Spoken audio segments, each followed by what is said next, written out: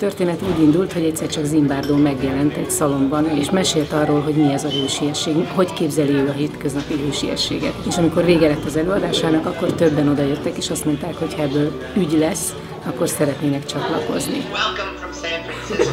This is Bill Zimbardo. Our goal is to create a new generation.